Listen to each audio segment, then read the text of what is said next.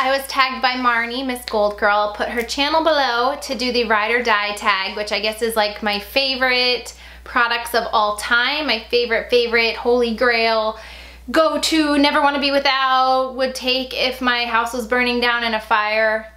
Just kidding. Some of these were really easy, very on the top of my head, and others it was hard to separate what I'm currently loving and my current favorites and new products that I've discovered, not just like recently, but through the years and separate that from my all-time always go back to always want to have on hand products. But I think I got it down and anybody that has been watching my channel for a couple years now most of these are not going to become a shock to you which is a good thing. That means that obviously these are staying true through the years. So let's get started. First up is primers. I feel like there's two different kinds of primers under that umbrella. There's the primers that are have silicone in them and just give your face like a glass baby like smooth you know, even everything, fill in pores feel. And there's the primers that give your face a really youthful glow and look really dewy and just kind of plump up your face and get it ready for makeup. So I picked two of the two character categories. The first one, as far as the pore filler, is a more recent discovery, but this is the Dr. Brandt Pores No More. I like this a little bit better than Benefit's POREfessional. I think it's a step above. It does a little bit of a better job, has a nice little tint to it, smooths everything out, goes, makes your makeup apply very smoothly and looks really good. And then the primer that I always go to when I just feel like my skin's looking really dull and I just need a pick-me-up is the Too Faced Hangover RX. Both of these I would continue to repurchase over and over again. Definitely been a lot of primers that I've purchased myself, tried from Sephora Point Perks and things. But out of all of the ones that I could remember trying and having, these are the only ones that I think I would continue to keep repurchasing. None of the other ones really struck a chord. For an eyeshadow primer, this one's kind of new, a new discovery, but again, a, an eyeshadow primer that I will buy over and over and over again. And that says a lot because again, I've tried a ton, but it is the Benefit Stay Don't Stray in the light to medium. And I put this on my eyelids. I also put it on any spots, anywhere I need extra heavy duty concealer. I put this on to prime it. And I love the even kind of like ivory color, like nude skin tone color it gives my eyes and it doesn't crease, which is awesome. This foundation, if you were to ask me a couple years ago, I would have told you NARS Sheer Glow, but my love for NARS Sheer Glow is not gone or forgotten, but it's kind of been bumped down a little by Estee Lauder Double Wear. Ever since I've tried this foundation, and I was so late to this foundation party, by the way, but ever since I tried this, I never ever want to be without it. I I get it. Like, I understand all the hype surrounding this. I think the reason it took me so long to try is because I just kind of always think of Estee Lauder as an older, like a brand for more mature women. It's a brand my mom used for years. And I just, you know, I didn't really wear foundation probably for the first three or four years on YouTube. So I was late to the foundation game in general, but I just never thought to try it from this brand because I just correlated this brand to older, more mature skin. But oh my God, am I so glad that I did. It's the one foundation that always looks good on camera, in pictures, in person. It doesn't ever look thick or cakey. And the thing that I love the most about it is once it sets on your face, because it does set and initially when you're applying it, it does look very dewy and almost feels like you need to set something. But if you just give it like a minute for it to really sink into your skin, I feel like it bonds to your skin so well and almost becomes your skin, which I've never seen any other foundation do that. And it lasts throughout the day. Even the other night, it doesn't get old. The other night I went to take my makeup off, it was 11.30 and it almost, I almost, it felt like a sin taking it off because it looked like I had just done it and I did it hours and hours and hours ago. So I love this foundation. I never ever want to be without it. I'm currently the shade 3W1, which is tawny, but typically I'm 2W2. I love that. Concealer, there's been a lot throughout the years, but the one that I will always have in my collection is MAC Prolongwear. Currently this one's a little bit too dark to go under my eyes, but this is the perfect concealer for all over your face. It covers, it sets and stays, it doesn't smudge. It's still a, a, good primer to use under the eyes or even as an eyeshadow primer, which I've done, because it doesn't crease or cake or settle into your lines. I just can't use this under my eyes right now because it's a little bit too dark. But I like this because it's one concealer for both jobs. You're under the eye and you're all over the face, you probably would just need to get it in a, you know, two different shades. The other one that I've been using for a long time now is by Collection 2000 and I know you can only find this over in Europe and one of my good friends usually sends me and stocks me up but I always get it in the shade fair or light medium. It's the one that I love for under my eyes. It feels like I go through this really quickly but it's just a very good brightening concealer. This is just always the one I always want to have. I think there's a lot that have come close but none that I continue to restock my selection of. To set everything, again, a newer discovery, but one I never ever want to be without. This is the Anastasia Banana Contour Kit Refill Powder. And yes, finally, I no longer need to search for a good under eye setting powder.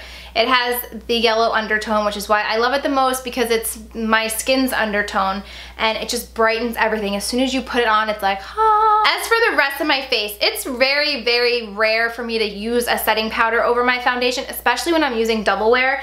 But if I ever need, you know, if I ever go extra heavy duty concealing and I wanna set something, or if I just want a light, coverage and I want to skip the liquid altogether, my go-to has always been the Laura Mercier and this is not the translucent, this is the natural beige. Is the natural beige, the mineral powder. It has SPF 15 and it's great as an all over foundation with good coverage and it also is a really good light enough coverage to set any areas you want to put over top your liquid foundation. Bronzer, again, not a hard one, So Ceylon from MAC. This is probably one of the oldest products in my collection.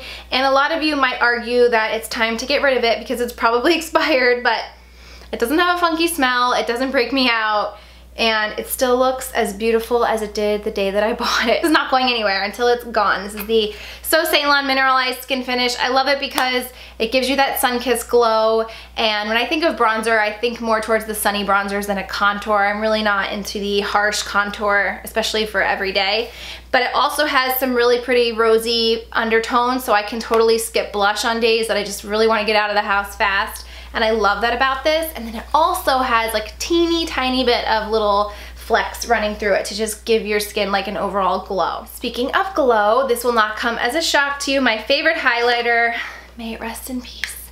Dior Amber Diamond. I never want to like finish this. I use this so sparingly, but I don't know why they let go of a good thing. This is my favorite powder highlighter. It's so subtle. You can keep your brush in here for like 20 minutes swirling the product on and yet it still just puts on the most perfect amount every single time and just gives you like that perfect candlelit glow that we all are after. So if you ever see this again in a CCO or a blog sale or on a random shelf in Sephora that they forgot to clear, pick it up. You won't regret it. And blush, a drawer full of blushes. This one I thought was gonna be really hard, but the one blush that I just kept, I, I try to ask myself, like, if I had to get rid of my entire blush collection, what's the one blush that I would keep behind? And it was this one. Unfortunately, another one discontinued, but it is MAC Instant Chic. It's probably the only blush that has such a dip into it. A lot of them don't show any signs of wear, but this one is just one, regardless of how many blushes I have in my collection, I will always go back to this. It's the same blush that once I use it, that first time in a couple of weeks or a month, I'm like, why did I ever stop using this? And I'm just like on a binge with it all the time every day. And then I remember that it's discontinued and hard to find, so I stop and then I put it to the back of my drawer and then remember it's there in another month and the cycle repeats. But I love this. Again, if it ever re-promotes in a MAC collection, pick it up. Eyes, eyes, eyes. This actually was not hard for me at all. This is It by It Cosmetics and it is their Naturally Pretty palette and this is definitely my most used, my most loved, the one that I never want to be without. A close second would probably be Urban Decay Naked, but this one I just get a ton more use out of. I've, I've hit pan on this one a long, long time ago. I love the colors. I think it's more of a springtime colored palette, but it's colors that I wear all year round, including in this video. Liner. I have had my fair share of love affairs with liners from the L'Oreal, what was that? Liquid Linear Intense. Those were the early days of YouTube and a lot of different pencil liners.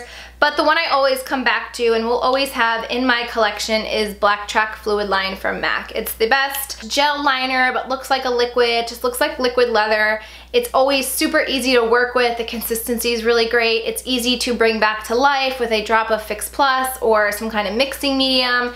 And I love it. It's just easy, good packaging, really great.